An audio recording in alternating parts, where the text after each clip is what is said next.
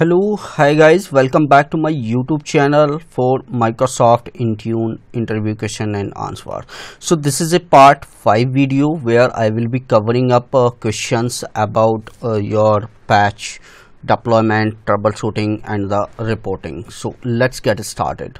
So here is the question list which i will be covering up in this video like how to deploy the uh, software how the software update deployments work in intune what is the windows update for business how to deploy the update ring how to deploy the features the quality updates in intune how to upgrade the operating system and what is the windows insider channels the patch deployment troubleshooting reporting and the finally auto patch. So let's get started.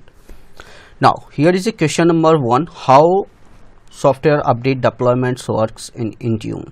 So we do not require to download the patch locally. So this is the uh, benefit we'll get with the Intune. So if we use the SCCM, obviously we need a WSUS to download the locally patches and maintain it and uh, then we'll deploy to the end user device. But when you are using the Intune, you do not require to download patch locally. So patches will download directly from the Microsoft Windows Update server on the device. And no other the application needed to involve to deploy the patches. So there is a, only the one application intune that will take care your the all the deployments. But if we talk about the sccm so sccm uh, the WSUS will download the update from this microsoft windows update server and then it will sync up with your SCCM and then you need to download it the locally then you have to distribute it. So that's the long process. But in Intune this is the everything got reduced and directly this Microsoft Windows update server can push the patches to your devices. So how this deployments work actually in the backend so first scanning will happen for your device what are the patches is required and only the required patches will download here and then it will installed and finally it's committed and the restart. If it, the restart is required then it will pop up uh, the device's restart. And it follow the process how you deploy the patches. So that's how the software update deployments work in intune now let's move it to the next question. What is the windows update for business? That is called wfb also. So windows update for business will help you to keep your device up to date. Uh, so this windows update uh, i can say like like the WSUS was involving in your sccm and the similar way the windows update for business entered into the intune so windows update for business let you control the update offering and the experience to allow the reliability and the performance testing on the subnet on of device before deploying the update across the organization. So this is the additional features we can see in intune. Windows update for business can configure by the group policy or the intune. So you can use it by the group policy either you can use the group policy or the intune as well so MDM can uh, MDM use configuration service CSP policies instead of the group policy. So either you can use the group policy or the Intune. If you are using the Intune, then inside the Intune that CSP will come to the picture configuration service provider. So Intune the additionally uses the cloud policy. So Intune can use the additionally for the cloud policies as well. So you can defer or pause the installation of update for a set of period of the time. So you can anytime you can pause or you can defer the updates for the certain periods. So here is a quickly i write it uh, this answers but if you need the more details inside in depth i have my the uh, another tutorial this microsoft intune. So there you can watch that videos now here is another question how to deploy this update ring. So basically all these patches deployments comes under the update rings. So whenever you want to deploy the monthly patches you should have to use the update rings.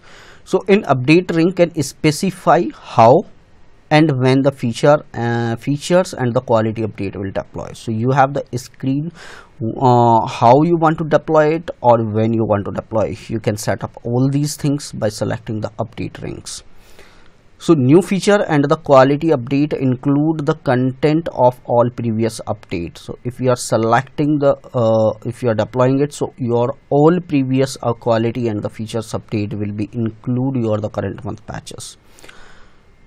Update ring can also used for the upgrade your the eligible windows 10 devices to the 11 so here is the option like upgrade the windows 10 devices to the latest windows 11 release. So if you would like to update it from here or we have the another features that i will show you in the coming video.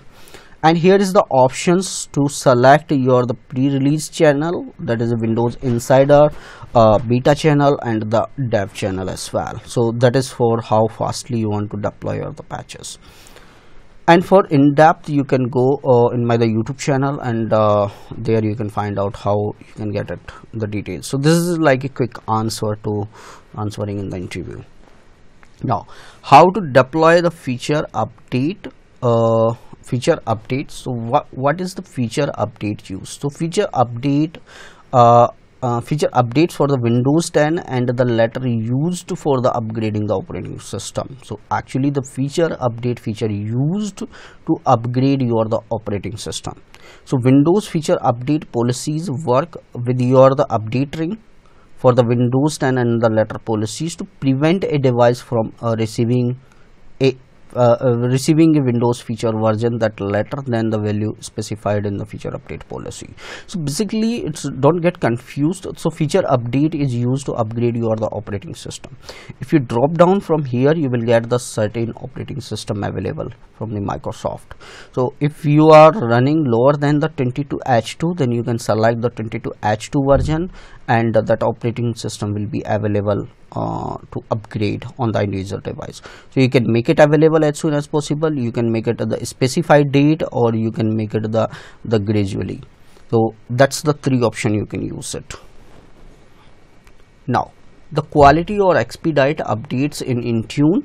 So quality updates called expedite update or the zero day patch deployment. So when any security uh, uh, when any patches is required to immediately deployed that comes under the expedite or quality update or uh, we can say like a zero day patch deployment. So deployment of the expedited update is done with, uh, without the need of pause or editing your the existing monthly servicing update. So might that patch is already include your the monthly patch so you no need to stop or pause your the monthly patch deployment. You can just deploy it from here like by selecting the features here. And you should have the microsoft uh, this microsoft 365 f5 or e3 or the e5 license with your the intune license. So if you are using the intune license like the ems5 microsoft uh, this uh, and uh, this endpoint security uh, uh, the mobility and the security e5 license but if you would like to use this quality update you should have the additional license like a uh, microsoft 365 e5 or microsoft 365 e3 license or the e5 license. This is mandatory.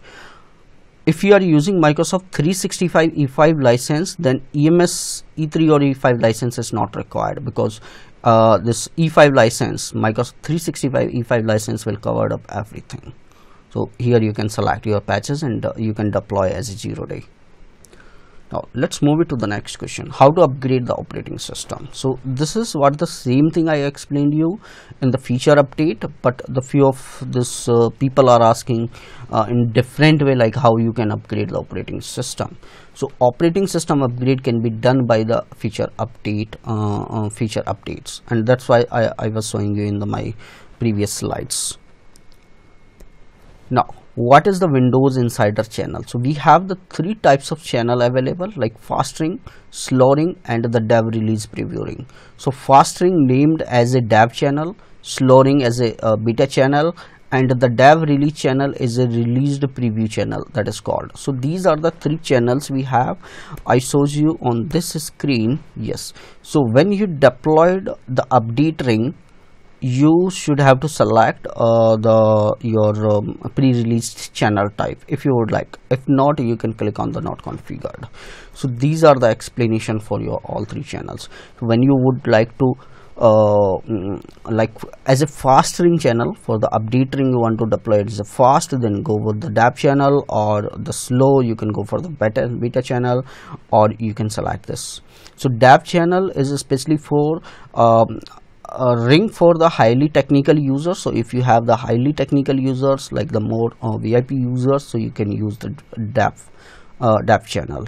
So be the first to access the latest built earliest in the development cycle with the newest code. So there will be a rough code uh, uh, rough ace and the some uh, invisibility. So these are the three channels where we can use it based on our speed or the requirement. Now patch deployment troubleshooting. So uh, this is like uh, very simple to understand the patch deployment inside the console.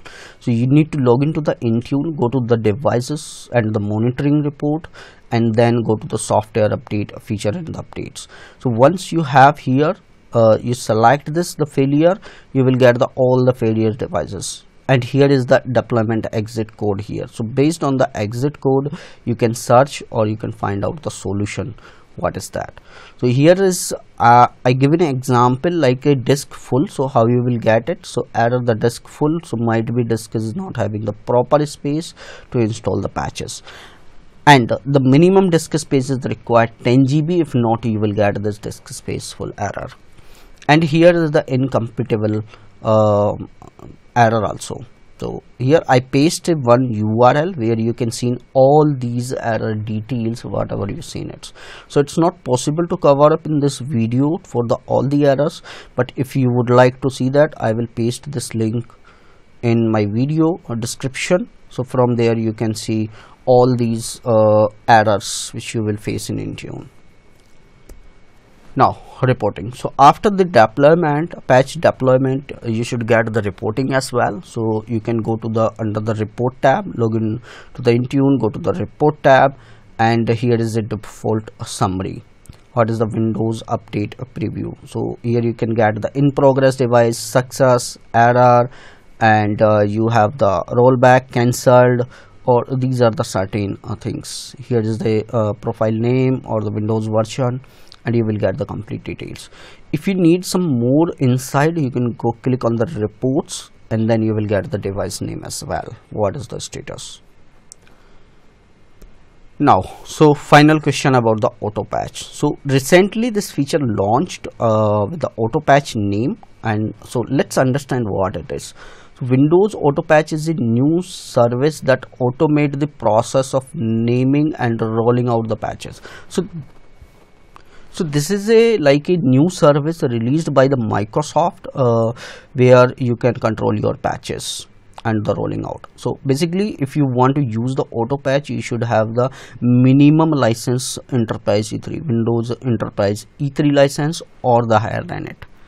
So you can continue using the tool and process you are used for the managing your deployment update uh, whatever you are using you can use it or you can take a handoff approach uh, approach and let the windows uh, auto patch do it for you. So whatever patch deployment you are doing that can done uh, by the auto patch as well. So suppose you are creating a update rings and uh, you don't want to create every month so you can let it be with the auto patch. You can configure once in the auto patch and then every month auto patch will take care of it for you so this is the something new feature. And this is not a mandatory to use in intune so we have our uh, update ring deployment. You can use that or you can use the auto patch as well. So windows auto patch applies update to your windows operating system and configure automatic update for office updates uh, of office applications. Either the uh, the uh, operating system updates or the office application updates also auto patch will take care. So this is the additional option to deploy the patches instead of your uh, window or uh, this update ring in intune. So now thank you guys for watching this video. See you soon in my next video